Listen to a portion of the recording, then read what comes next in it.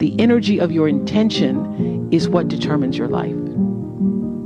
Most people don't think about their intention, they just think about what they want to do. Most people don't think about why they want to do it.